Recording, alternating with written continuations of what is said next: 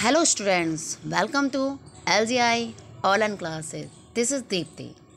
Class 6 Science interesting topic is the nose.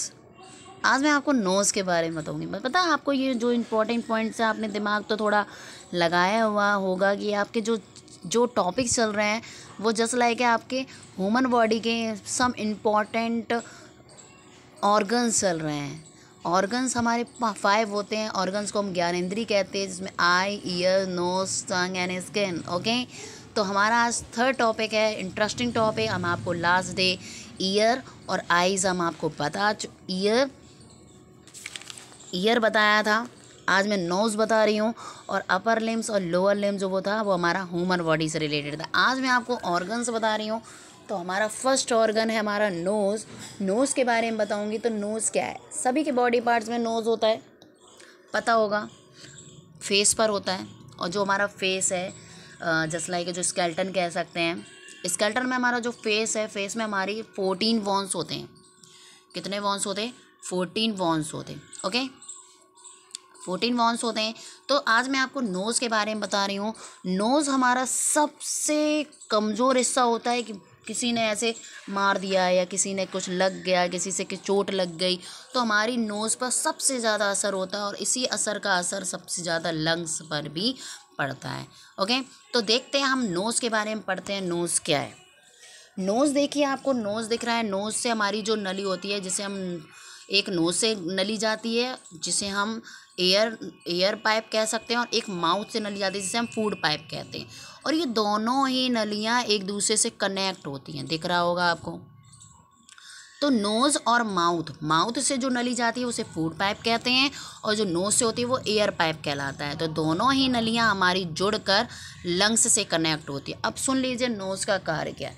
सांस लेना। क्या लेना? सांस लेना, सांस छोड़ना और अच्छी खुशबू लेना, नाक से हम क्या करते हैं? स्मेल ही तो लेते हैं, अच्छी स्मेल लेते हैं गंद ले लेते हैं, सूंघने का कार्य करती है हमारी नाक। और काफ़ी प्रोसेस है हमारी नाक जो होती है, वो सबसे इंपॉर्टेंट पार्ट भी होता है। अगर हम सूंघने की प्रक्रिया को नहीं अपनाएँगे तो हम किसी भी प्रकार से आगे नहीं बढ़ पाएँगे।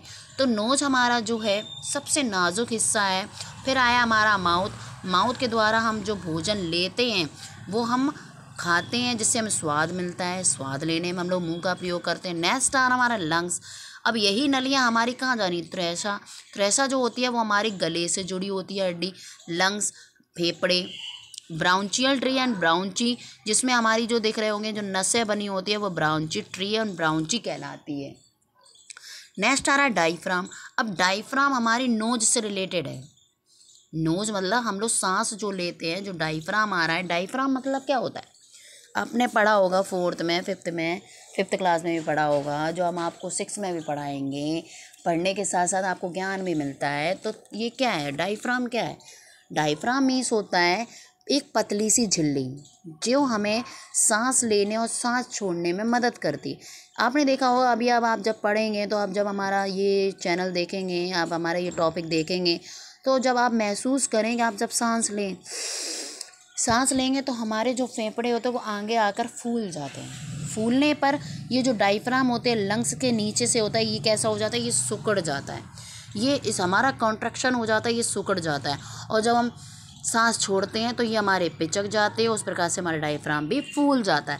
तो ये हमें सांस लेने और सांस छोड़ने में मदद करता है और डायफ्राम का सबसे इंपॉर्टेंट हिस्सा है हमारी नोज़ अगर हम नोज़ और लंग्स के द्वारा हम क्रिया नहीं करेंगे तो हमारे नोज़ का कार्य भी बिल्कुल भी नहीं रहेगा। हम अच्छे से सांस नहीं ले पाएँगे, हम किसी चीज़ को महसूस नहीं कर पाएँगे। तो यही है कि हमारा जो नोज़ है वो सबसे इंपॉर्टेंट हिस्सा है हमारी बॉडी का और हमारी बॉडी में सबसे इंपॉर्टेंट हिस्सा होने के साथ साथ सबसे नाजुक हिस्सा भी है। और ये हमारा एक्सटर्नल ऑर्गन है जो हमारा देख सकते हैं, छू सकते हैं, लेक और महसूस कर सकते हैं, लेकिन जो इंटरनल ऑर्गन्स होते हैं इसके अंदर के, इसको हम नहीं देख सकते। वो इंटरनल ऑर्गन्स होते हैं और जो एक्सटर्नल है वो नोज़ है आई है ईयर है ठीक टंग है स्किन है ये हम ऊपर से देख सकते हैं, लेकिन अंदर से नहीं देख सकते। तो दिखने वाले एक्सटर्नल ऑर्गन कहलाते हैं और ना दिखने वाले जिसे हम देख नहीं सकते, वो हमारे होते हैं इंटरनल इंटरनल में हमारे हम बता देते हैं, जिसमें हमारे हर्ट लंग्स रिप्स ये सारे बोन्स आते हैं, ये सारे नाम आते हैं जो हमारे इंटरनल बोन्स कहलाते हैं, इन्हें हम देख नहीं सकते। महसूस कर सकते हैं, जिनका हम सारा बॉडी का कार्य भी होता है ओके तो आज हमने आपको नोज़ के बारे में बताया। अगर आपको इसको क्लियर ना हुआ हो तो प्लीज़ हमें जल्दी से जल्दी मैसेज करें और हम आपको जल्दी जल्दी आगे और अच्छे से बता सकें ओके अभी के लिए बाय टेक केयर